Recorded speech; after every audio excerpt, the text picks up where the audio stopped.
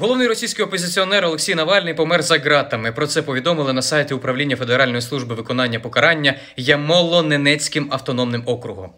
Пісков заявив, що ФСБ займається всіма перевірками щодо смерті Навального. Особливих доручень не потрібно. Э, Насколько мы знаем, сейчас в соответствии со всеми действующими правилами, всем э, занимаются всеми проверками, выяснением и так далее. То есть это уже каких-то не требуется поручений, потому что на этот счет есть определенный свод правил, которыми сейчас всем руководствуются.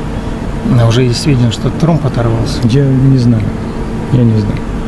Должны медики как-то выяснить. А кто должен? Кто должен?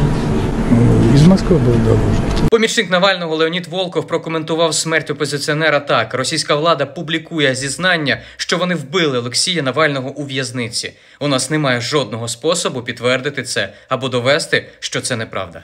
Слід зазначити, що Олексій пропав у грудні з інформаційного поля. Знайшли Навального аж через місяць за полярним колом, приблизно за 1900 кілометрів на північний схід від Москви в колонії Ямалі.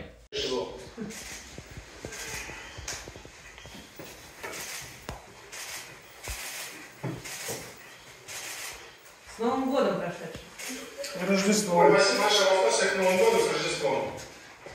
За попередню інформацію, смерть Навального сталася у зв'язку з відривом тромбу.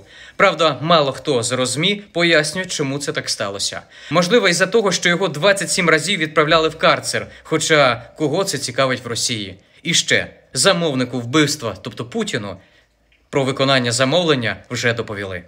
Як вам такі новини? Напишіть свої думки в коментарях. Не забудьте підписатися, поставити лайк. Команда Україна сьогодні працює для вас.